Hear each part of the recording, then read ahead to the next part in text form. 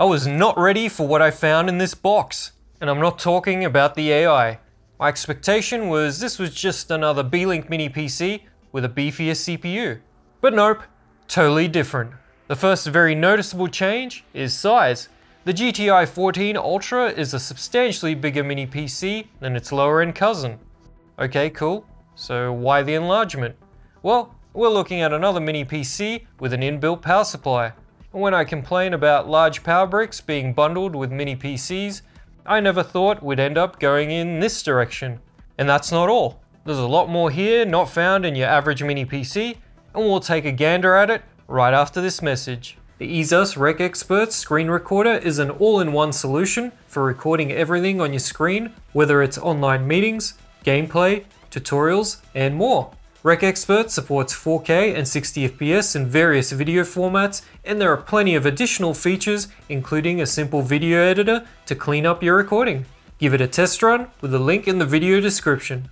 So Beelink's GTI 14 Ultra is bigger with an inbuilt 145 watt power supply.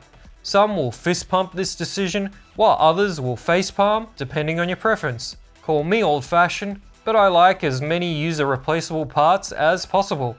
Anyway, it's all housed in this nicely Mac Mini inspired metal case and is well put together.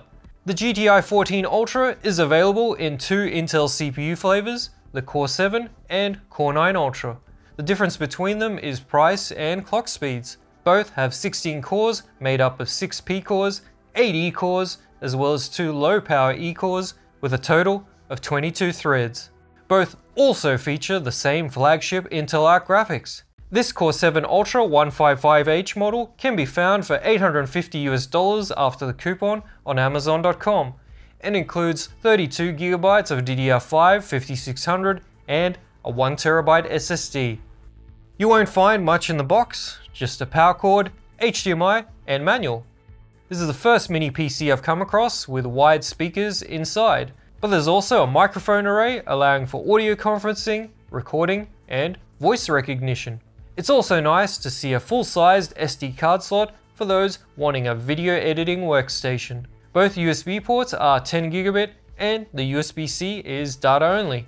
The power button has a fingerprint sensor if you want to use the fingerprint lock function in Windows. I tried it and it worked really well. Pretty much instant recognition. On the back of the Mini are another 4 USB 3 10 gigabit a USB-C Thunderbolt 4, which supports power delivery and display, HDMI, and DisplayPort. HDMI maxes out at 4K 60, while the DisplayPort and USB-C can do higher refresh rates and resolutions. You can have a total of three displays natively with this Mini. You might have also noticed there's a 3.5mm audio jack on both sides, which is something Beelink has been including on the high-end units. Dual Intel 2.5 gigabit LAN is used for wired networking and this is the first Mini I've tested to include Intel's Wi-Fi 7 BE200, which didn't even show up on the Asus NUC 14 Pro Plus. Bluetooth range is really good. The GTI 14 Ultra takes the top spot when testing my Bluetooth audio speaker for uninterrupted playback without artifacts. It does decently with a Wi-Fi test at 12 meters or 39 feet from the router using the 5G band only a few network connection pop-ups during the game session, which resulted in some higher pings. But since other minis have passed this test without any issues, it doesn't get a pass. Beelink's inbuilt speakers aren't anything amazing. There's no bass of course, but the trebles and mids aren't as tinny as you hear on most monitors, so that's a positive. They're also pretty loud at maximum volume, although they can start to distort. Overall, the speakers are a decent inclusion. Beelink says the microphone has 360 degree voice recognition at 5 meters. So, let's test that claim. Okay, I'm standing 5 meters away. Why does Microsoft suck so much? Great, it worked. Seems Microsoft didn't like what I had to say. There's another important exclusive feature I need to show you, which is hidden inside. Unfortunately, Beelink hasn't made this mini easy to open, Thanks to these horrible rubber screw covers you need to pluck out first, like an eyeball. Not that I have experience, but I imagine it would be something like this. Once they're removed, you can finally unscrew the lid, and there are 4 screws on the dust filter. What we're in for next, just to get access to RAM and storage, is frankly BS. But before that, I wanted to point out the full PCIe slot for a discrete graphics card. This is a Gen 4 X8 slot, which is the same bandwidth as a Gen 3 X16. Beelink is releasing a docking station you can use for this mini and a discrete GPU. They're sending me the dock later, so I'll cover this cool feature in a separate video. Okay, now to get to the memory and storage. The speaker and power supply need to be removed, and they have cables and ribbons attached to them, so be careful and keep track of your screws. Different ones are used all over the place. Okay, four screws for the speaker, then four screws for the power supply. Wrestle them out, and then they can dangle like these nuts. For the power supply, you'll need to lift the cable attached to it, then we just need to remove the middle plate.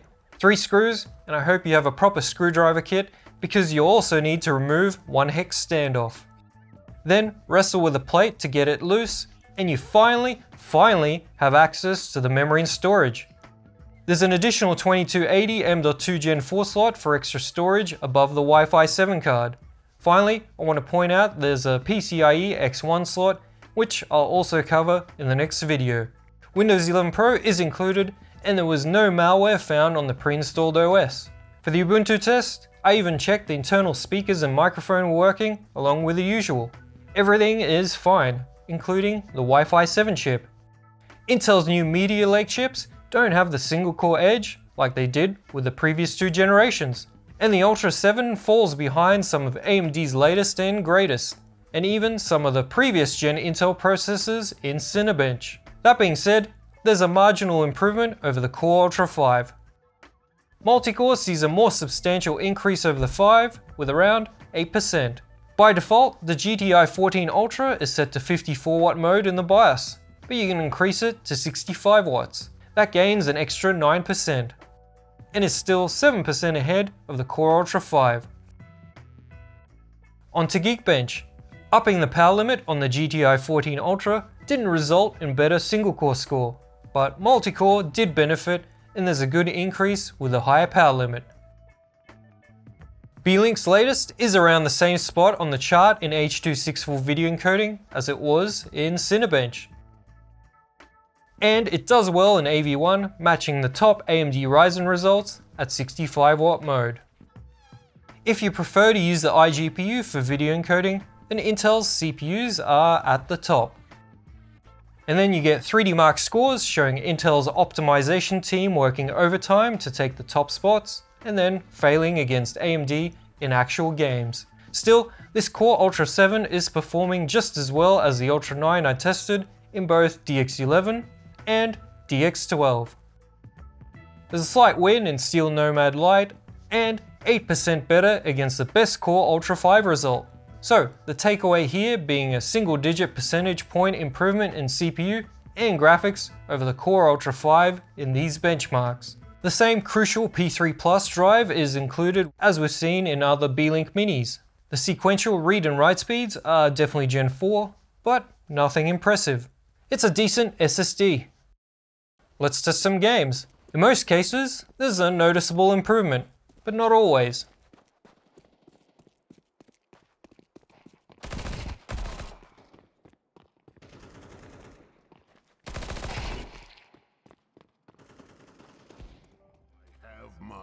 gonna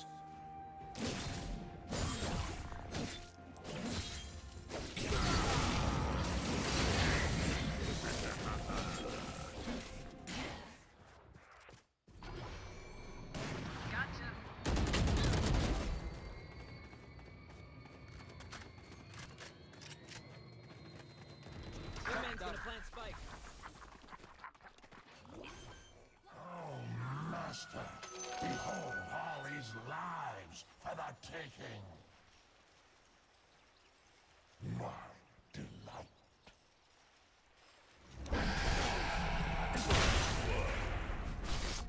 With the AAA games, there's an easy to spot 10 to 15% improvement in FPS.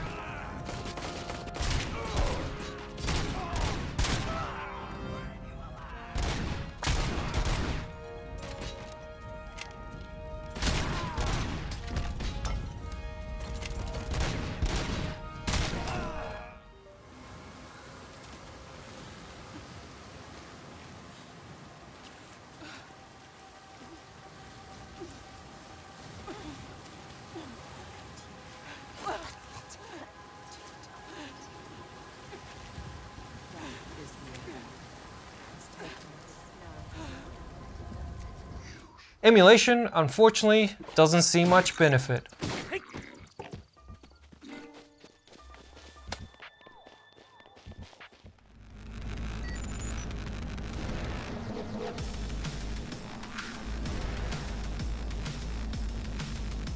Obviously, the best way to game is using the PCIe slot, but for this video, I tested the Thunderbolt 4 port just to make sure it's working.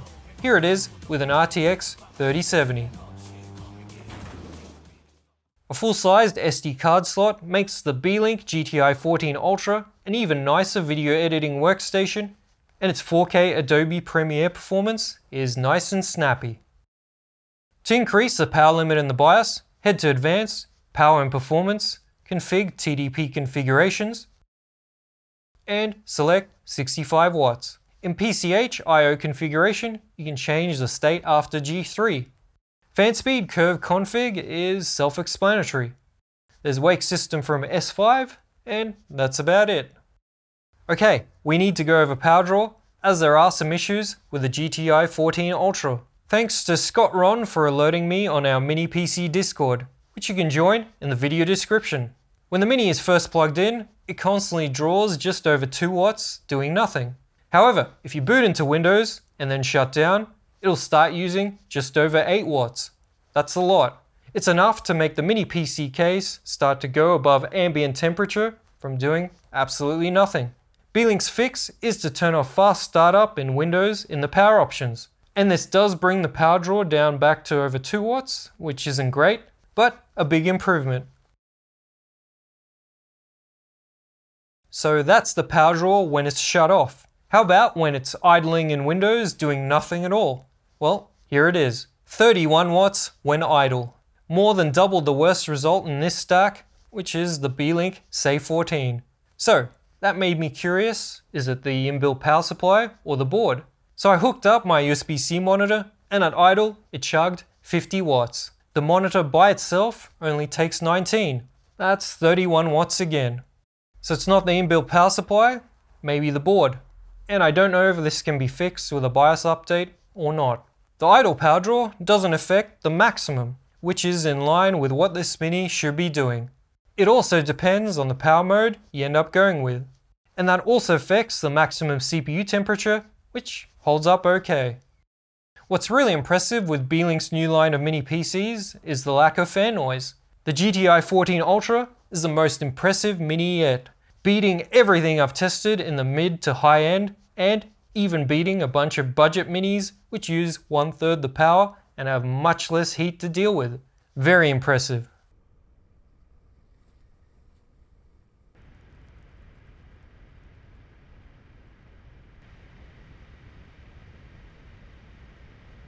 Maximum SSD temp showed as 63 on both temperature sensors.